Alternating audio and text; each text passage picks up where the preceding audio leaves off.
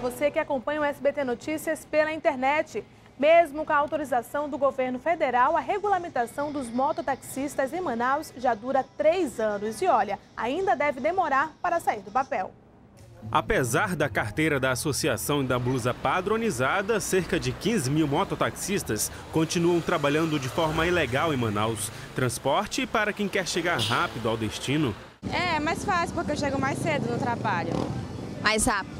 Com certeza. Você opta sempre pelo mototáxi ao invés do ônibus? É, geralmente eu tô vindo de mototáxi, já faz umas duas semanas. Desde 2009, o governo federal liberou a regulamentação da categoria e passou a responsabilidade aos municípios. O projeto já foi discutido na Câmara Municipal de Manaus em várias reuniões, mas até agora não saiu do papel.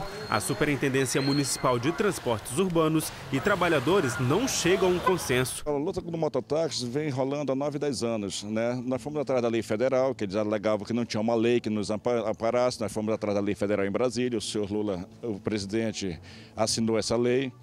Nós viemos para Manaus, eles disseram que não podia ser feito em Manaus, que tinha uma lei da Loman também que não permitia.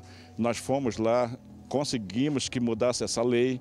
Eles tiveram o prazo de 190 dias para regulamentar e vai para um ano e dois meses e até agora não foi feito nada. Com a briga, quem perde é a população. O número de imprudências nas ruas é grande. Aqui o capacete foi esquecido. Nesta outra irregularidade, flagramos três pessoas em uma moto.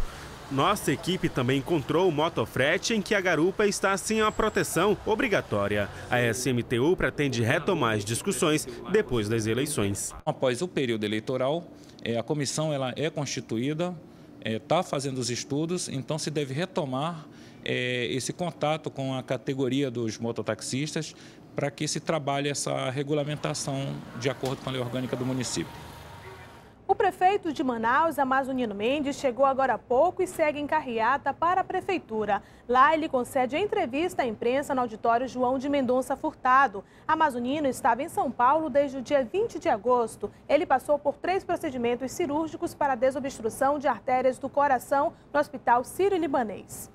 Empresário é preso com mais de 9 quilos de pasta base de cocaína. A droga foi avaliada em cerca de 200 mil reais.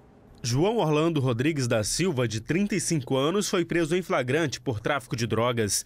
O empresário é dono de uma pizzaria no Japim, zona sul de Manaus. A investigação durou mais de um mês e durante toda a quarta-feira a polícia seguiu o acusado, mas só conseguiu fazer a prisão no início da noite. Com ele foram encontrados 10 quilos de pasta base de cocaína, avaliados em 200 mil reais. E aí a gente viu quando ele entrou no carro com uma caixa de isopor. E aí a gente fez perseguição ao carro e foi abordado na Leonardo Malché, na Major Gabriel com Leonardo Malché. Agora está sendo lavrado o flagrante dele, a prisão em flagrante dele, e ele vai ficar à disposição da justiça. Vai para a cadeia pública? Vai para a cadeia pública. A princípio, o Raimundo Vidal Pessoa, e depois aí é feito o remanejamento.